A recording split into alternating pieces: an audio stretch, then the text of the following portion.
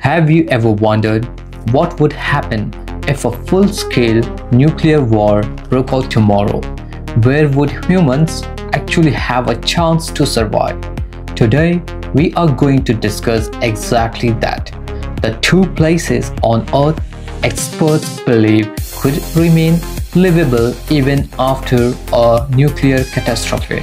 Investigative journalist Annie Jacobsen explains that most of the world would face unimaginable challenges.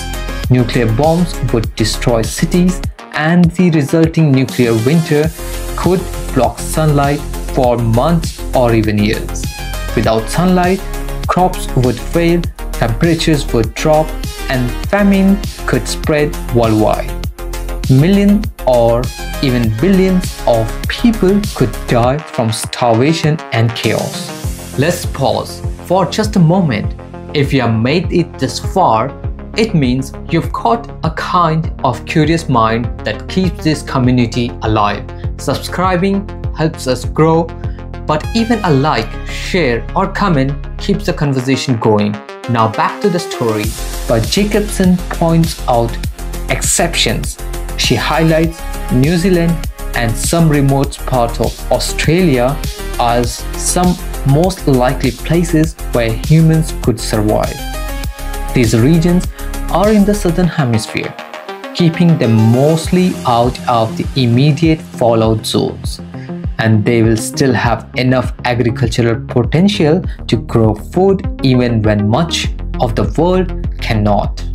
However, survival in these areas would not be easy. Jacobsen suggests that only small primitive style communities could make it. These would be hunter gatherer type societies, living off the land, growing what they can, and finding ways to protect themselves. Modern cities would not survive in the same way, as urban population would struggle to find food and safe shelter. Interestingly, the article also mentions that some wealthy individuals are already building primitive bunkers in New Zealand, designed to protect themselves rather than entire communities.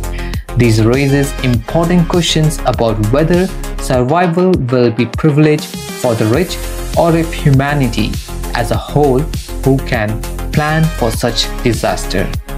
Jacobsen insights are supported by science a 2022 study in Nature Food by Professor Owen Toon modeled the effect of global nuclear war and concluded that billions could die from famine and cold.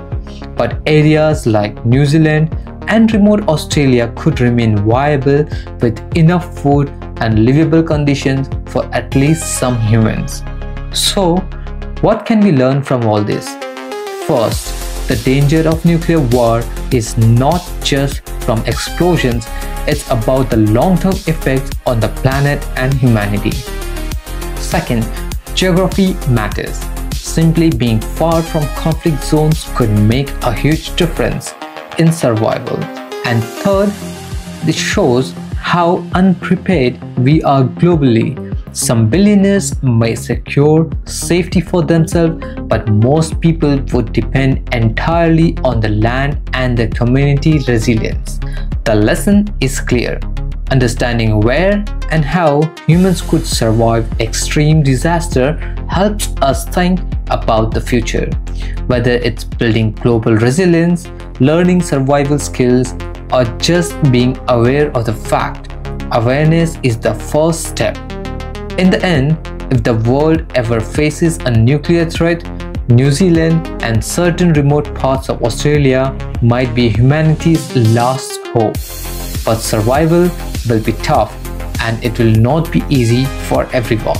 Appreciate you sticking around till the end. If this video added value, drop a like, subscribe and hit the bell so you are always in the loop. This community is all about curiosity and growth and we are just getting started. Catch you in the next one.